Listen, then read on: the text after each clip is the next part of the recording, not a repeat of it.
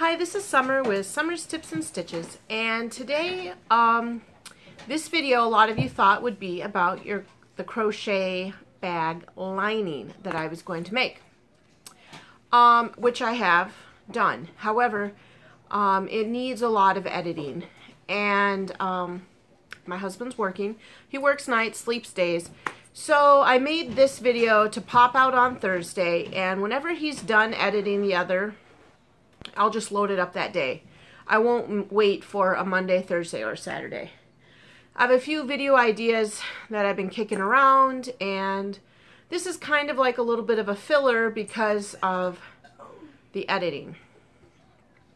So, um, I am going to open subscription boxes. The first one is my knit crate, which I'm very excited about. Now, I tried to get a preview of the color. Um, I did not try very hard. I opened a link and it showed some pictures of things. I didn't do a lot of reading, so I have no idea. Um, I did start to look at the proper pineapple at Holly's. And I think she had like a bluish, lavenderish kind. So, I don't know. I'll see what mine is. I've kind of been waiting to see what I would have compared to everybody else. Okay, I taped it, unopened the taping. It matches my knit crate. In fact, I feel like it matches one I already got. Let's see. Okay, so I'm going to say it's like greenish vari variations, a green vari variant.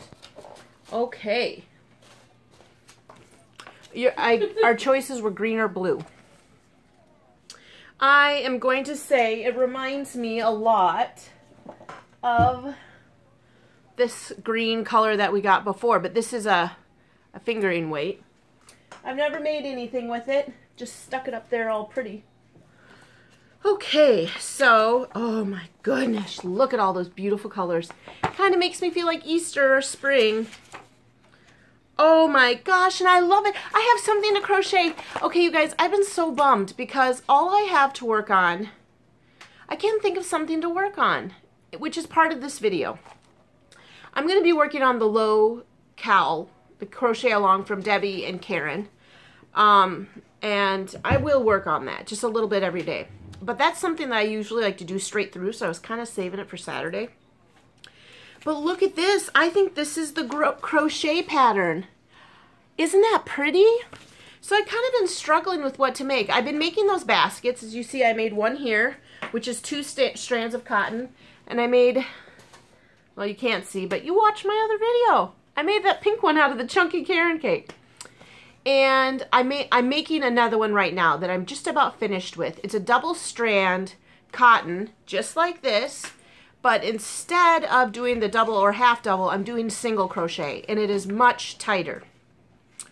Um, so I decided, you know what, because I made those two, I was going to make two more, one for each of my kids and one for Han.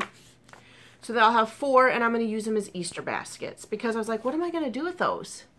So I'm going to make, I'm going to finish up this one that I'm working on now, make one more, set those aside for Easter. But I was like, ah, I don't really like doing them. I'm not a fan of the baskets. I don't know what to do with them. Um, that's why I thought, well, I'll use them for Easter. So I got one more of those to do. But now I think I can make this. So this is called the Scaling, Scaling, reinterpreted the shape for shawls and scarves. Ooh. Okay, and here, I believe is the knitted one. Now, I can tell you what, I love that photo. Look how happy that gal is. And she's got all this lace work on her shawl or her scarf. I love that. I'm not going to make it, though, because I'm not a fan of knitting. After that, my knit crate from last, that pink one is in there. Um, so this is, I'm skipping the Belita. So if you are one of my subscribers, you're going to have to find someone else who wants to chat about Belita because I'm giving that one a break. But man alive, it's pretty. And she looks so happy to be wearing it. Um, let's see here. Ooh, there's a graph. Hey, Flinny. This is what I'm going to make. This is uh, Kiri Fitzgerald. Um, can I tell you, I burnt my tongue with dinner. And it hurts. Okay, And this is her shawl. I wanted to look at a nice picture. She's from Australia. Oh, no, she submitted her first pattern to an Australian magazine. Maybe she's Australian. Oh, nope, she is. She's based out of Brisbane. Ooh, maybe Gypsy Rose knows her. Just teasing. Um, wow, there's lots of rows. It's called Belle Askew. A combination of basic stitches shines against the not-so-basic shape. Uneven sides create a skewed beauty of a shawl. I really want to see how it's laid out. We don't really get to see that. There's a bobble stitch in there. And um, double crochet. What we can see of it really is this gal wearing it. I'm pretty excited. I'm totally making it. I'm going to work on my locale and I'm going to start pumping this out. I'm very, very excited. Um, my tongue hurts though, friends. And, oh, here is some information about Crochet Designer. Look at that yarn. Wow. I want that one. What is this one in? Oh, the sock month. Oh, but look at these socks. Look at those. I like them. Okay, sock pattern.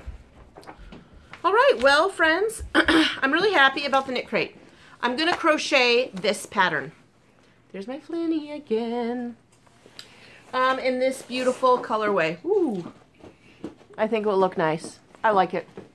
And then you know what? Maybe, because this is a worsted weight, maybe I'll rip out my knitting for like a fourth time and make one in the pink too. You know what, folks? I might just make two of these. That's what I'm going to do. Okay, so Knit Crate success. Oh, let me tell you about the yarn if you haven't watched everyone else do one. Um, this is Auden Wool's Halo DK. Oh, it's a DK. I think the other was a worsted. Well, maybe it'll just be a little bigger. And it's 50% alpaca, 30% merino, 20% nylon. Um, so check out, I've seen that, I want to say the people I know that typically do videos about these is Ella No Catchy Name, Scraptastic Yarn, Hooked on Owls is an ambassador. I've checked her out, but I haven't seen her do a video in a while. Of course, there's this one. Holly the Proper Pineapple. So, yeah, that is my knit crate. I'm in love. I'm in love with the knit crate. Man, I love my knit crate.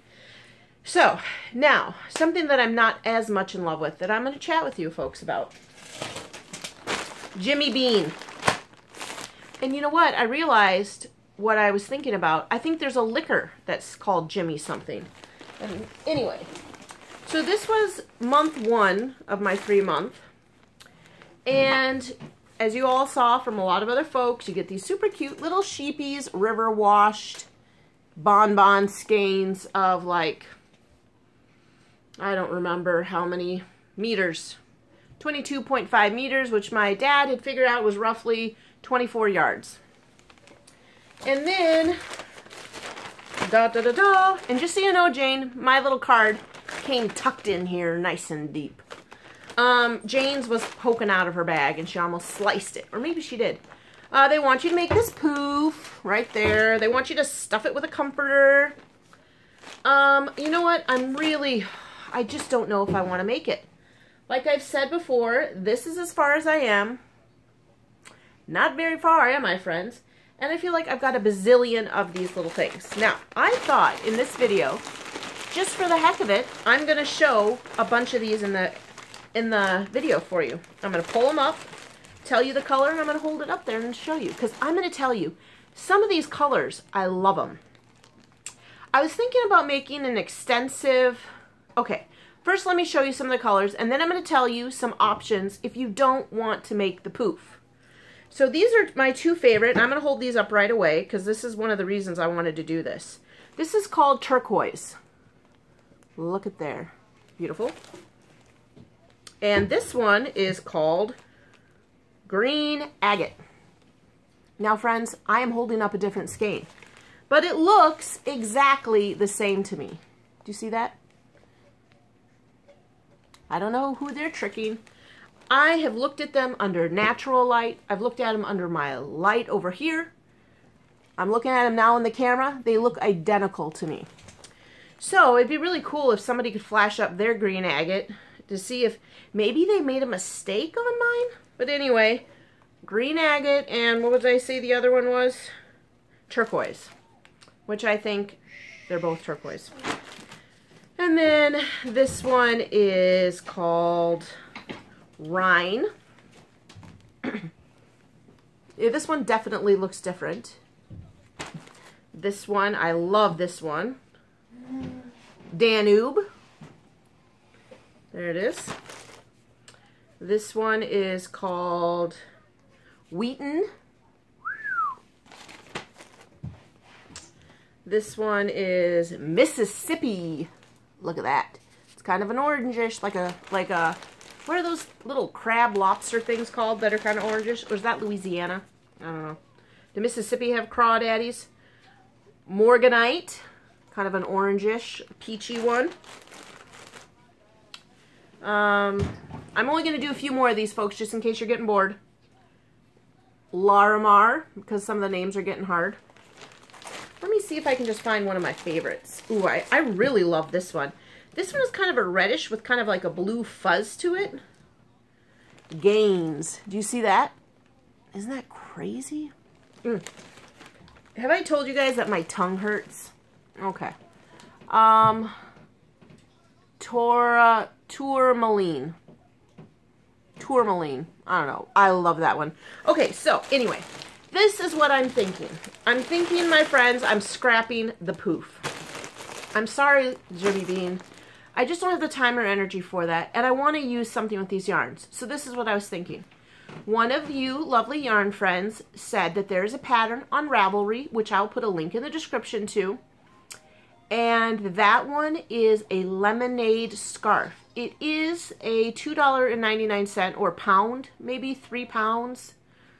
Hmm, I was looking at a lot of patterns recently. Okay, so I don't remember how much it is. It's either two or three dollars or pounds. Um, and that, you know what, to be honest, I mean, no offense to the designer. I think her name is like Fiona. Super cute you want to pay the money. But my point is you could make a fun scarf. Just pull out a color, crochet a bunch of rows. If you, oh, my daughter just knocked over a desk chair. Um, if you're particular, figure out how many rows you can get per thing. Maybe do an X stitch for some, maybe do a mesh stitch just shake it up. And so I'm thinking about doing that, just making one of those long, beautiful multicolored coat, kind of like Joseph's coat, but a scarf. So that is option one. If you don't want to do the poof, and you got a million of these, I think I'm up to like 45 of these. So I'm thinking about that. And then in order to avoid my OCD, I'm just going to reach in, grab one, crochet. I'm not going to worry about putting what colors next to what and this and that because it's going to get me crazy. So I'm thinking about that option, in which case I'm, I'm kind of happy about this if I'm going to do that project. The other thing that I'm thinking of doing is two projects kind of in one. You could make yourself a whole bunch of dishcloths. Now, I'm going to find a pattern that I shared quite a while ago. Debbie the Canadian Crocheter shared it. I'm going to reshare it and it's three dishcloths. They make kind of uh, little flowers. They're beautiful. But because this is a cotton acrylic blend, I believe, of course I grabbed the one that I already took the label off. Um, I can't find it now. Cotton acrylic, 70 cotton, 30 acrylic. You could make little dishcloths, a bunch of those flower dishcloths and rotate between the, the colors. Or then that got me thinking, what if I made a, a granny square? I'm not sure what kind of granny square right now, but just take one of these, make a square. Take another one, make a square. Sew them all together. Maybe I'll take some of the light colors, or maybe I'll just sew them together and make a real big mishmash blanket. So I'm really thinking about that because these all go, you know, so th that's what I'm thinking. Lemonade scarf on Ravelry, dishcloths, which I'll put a link in the description to that dishcloth pattern that I used quite a while ago. If you want to just look for it yourself um, without going through the dish and see the dishcloths, I would say probably in June or July, maybe July or August, somewhere in the summer, I reviewed some cotton. I made the dishcloths out of different types of cotton. One of those, um, I want to say lollipop. That's not the word. Little dollop. One, a little dollop out of a cotton cake. And then I made it out of something else. I don't remember. It was floppy though. I wasn't real happy with it. Anyway, a couple different cottons. And so I did a review. But if you want to just check that video out, and I can put a link in the description to that video, there is a link to that pattern, but also you'll get to see what those dishcloths look like, and some of them are real beautiful. So that's what I'm thinking, either doing the dishcloths and choose my own pattern, or using these to make some kind of square or shape and sew a bunch of them together and make a big blanket. Um, and then, of course, there's the poof that comes with it. And friends, I think I'm going to discontinue the Jimmy Bean after this. I just wanted to try a little subscription boxes here and there, talk about them with you, um, so that you can decide if you, you know, if you want to wait and see how many I go through uh, to see if you want to try one. Um, so I love the knit crate. Every month, I love it. Whether or not I make the pattern, I love the yarn. I love the knit crate. I love it. Jimmy Bean, I'm finally getting a little excited about. Up till now, not been pumped because I didn't know what to do with these and I didn't want to make the poof. But now I'm getting excited about either doing that really long scarf or that blanket. Um, the next one that I'm going to try is the Mary Maxim because I've heard from um, Ross from the Smell Great Yarn, Smell Great Guy or Smell Yarn. Sorry, Ross. Um, I heard Mary Maxim was awesome. T Dolls, Christy Cook. She loves the Mary Maxim too. And there was somebody else, maybe it was one of my Yarn Friend subscribers, mentioned the Mary Maxim. So I think that's the next one I'm going to try. So yeah, that is my subscription box. And that's kind of like how I...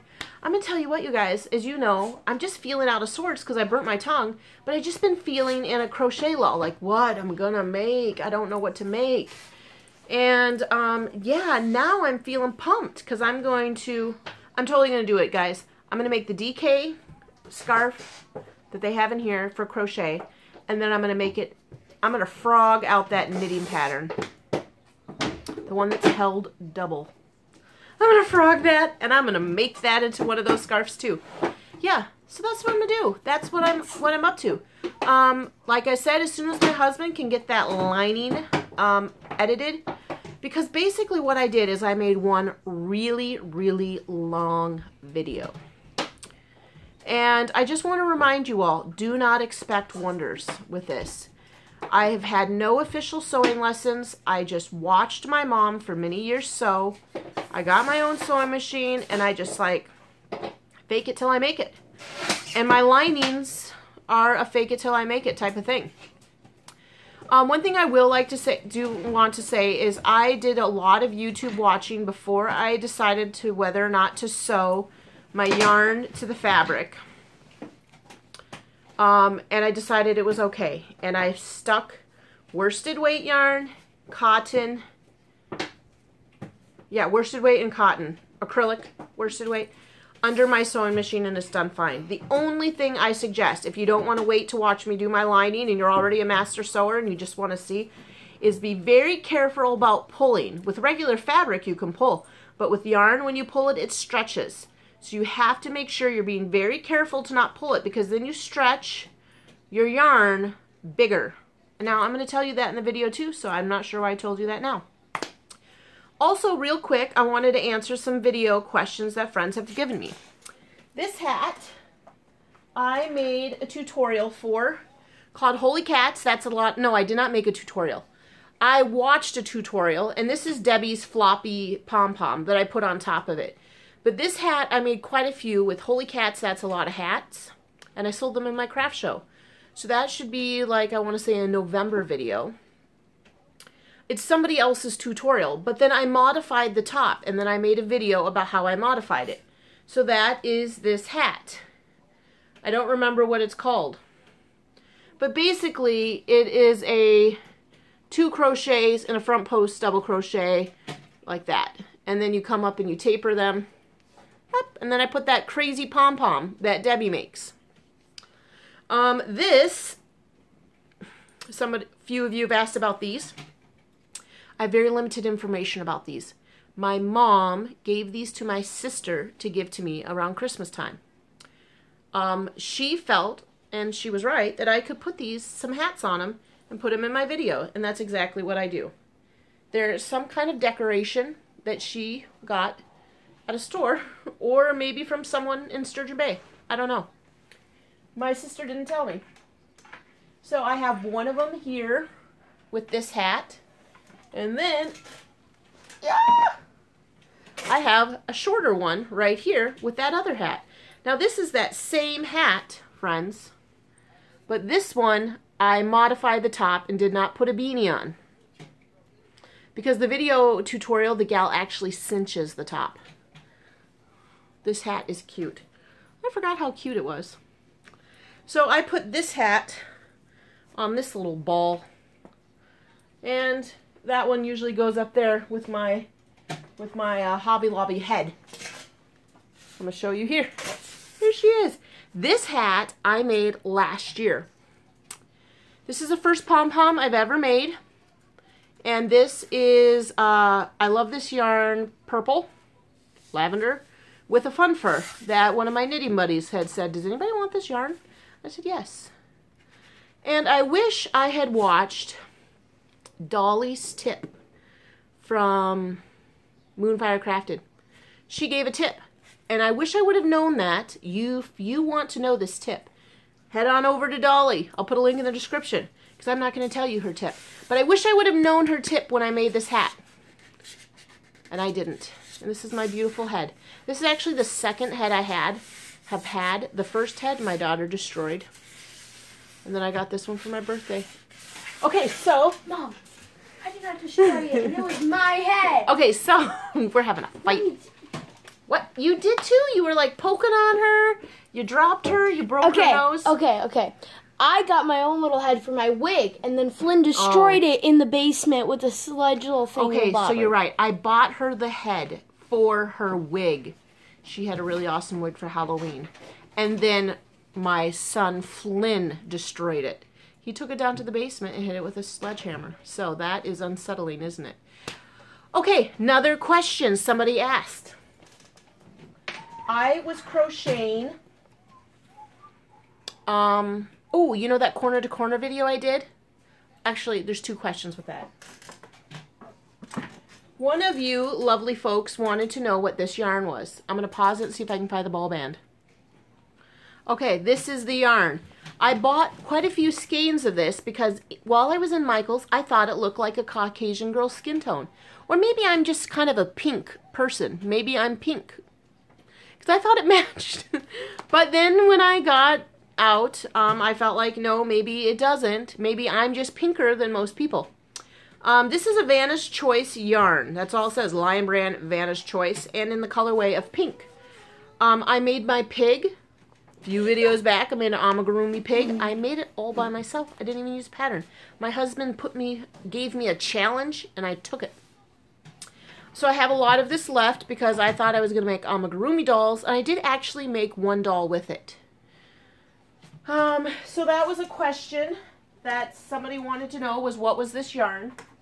Vanna's Choice. I got it at Michael's. I want to say they're having some kind of deal where you buy two, get one free or something like that. Um, think those are the que- oh, see, oh, the other question. Somebody had asked, do you have to keep changing your hooks when you're making that corner to corner? Now, I just wanted to clarify. A few videos back, I did a YouTube tutorial video on how to crochet a corner to corner. And because I wanted to keep the interest of my regular viewers that already know how to do a corner to corner, I thought along with doing the corner to corner, I would switch out crochet hooks and talk about them as I was going, like what I liked about that one and then what I liked or didn't like about the next. So that is what happened. So I'm sorry for those of you that were confused. You just take your hook and crochet away. I was switching out to kind of kill two birds with one stone, so to speak, and so that's what I was doing. I want to say those are the most recent questions that I get continually that I've kind of been just like thinking, oh, I'll say that in my next video, and I forgot. Hats, hat stands, pink yarn. That's that. Okay, folks, well, this kind of turned out to be a pretty good video. I thought I was just going to talk about subscription boxes. Uh, and it turns out I talked about a lot of stuff. And I am super excited for my Saturday video. I hope to have at least one shawl done. But I need to be working on my locale. I've got a good idea on that, and I need to just get working on it. Although I think I have till April. Don't worry, folks. I think you have till April. It's just I feel like I want to get it done so I'm not like last minute freaking out because I've never entered a locale. And thanks to all y'all who've been asking me to be your Ravelry friends. Okay, so quick recap for the description box. There's going to be a link to my cotton review because that will also have a picture uh, video about those dishcloths that I want to make maybe with those. Also, there's going to be a link to the lemonade scarf on Ravelry. That is something if you are getting these Jimmy Bean um, yarns, and you, or if you bought the pack, because I think Holly said she had one, and you don't want to make the poof, you can make the lemonade scarf. I'm also going to put a link in the description to the tutorial again for that hat um, that I made. And then I think that is all I'm... Oh, I'm going to link Dollie from Moonfire Crafted because she gives you an excellent tip about fun fur. And I'd like for you to go over and listen to her chat about it because she's way cute. And um, yeah, that's it. And then I'm going to do that stash challenge. Um, I'm going to organize my stash because that's one of the questions. And I keep thinking to myself, I need to organize my stash because I'm not very happy with how it is. And so that will get me in the in the in in gear. I'll get my bum in gear and organize it because right now I'm kind of just sticking things wherever I want them. Um, yeah, so that's all. Thanks for watching and subscribing. Thank you for sharing my videos. Hit that notification bell if you want to be alerted for every time I make one of these crazy videos. And until then, happy crafting. Bye.